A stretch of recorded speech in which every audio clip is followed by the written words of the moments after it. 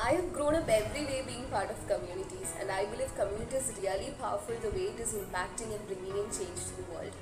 Uh, one motto that I always believe while building up communities is that lift as you climb, bring in innovation and bring in a change.